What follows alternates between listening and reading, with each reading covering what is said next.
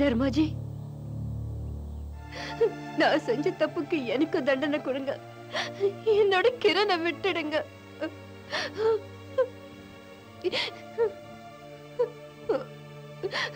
பூஜையை பத்தி கவலைப்படாம நீ ஓடி போன. இப்ப என்னாச்சு? கிரண காணும்னு ஓடி வந்திருக்க. இல்ல தர்மாஜி. இனி நடக்கவே நடக்காது. நான் செஞ்ச தப்புக்கு தண்டனை ஏத்துக்க நான் தயாரா இருக்கேன். ஆனா என்னோட கிரணை நீங்க காப்பாத்தணும்.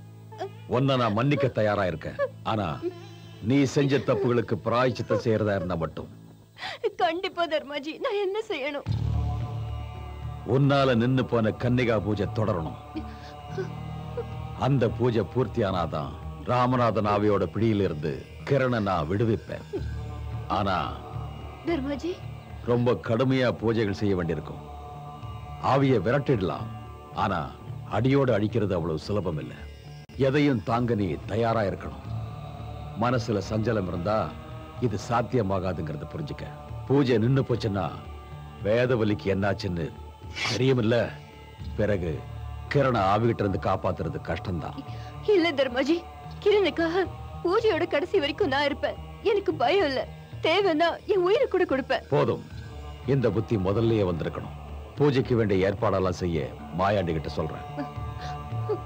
சரி தர்மாஜி ரொம்ப ரொம்ப தேங்க்ஸ்.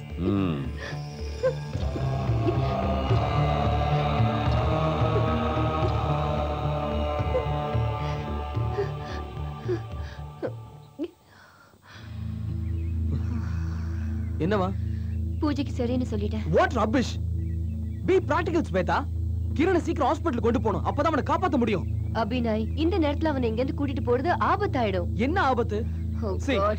இந்த பூஜையெல்லாம் பண்றதுக்கு நான் தயாரா இல்ல. ஓம் பிரஜண்டிகை. ஓம் சண்டமுண்டாதிவேகின்னே நம. ஓம் விஷாலாட்சிணி ஓம் பிரசன்னாஸ்யாயே நம. ॐ दुर्गस्ननशिन्ये नमः। ॐ चामुण्डाय। ॐ चण्डिगये नमः। ॐ प्रचण्डि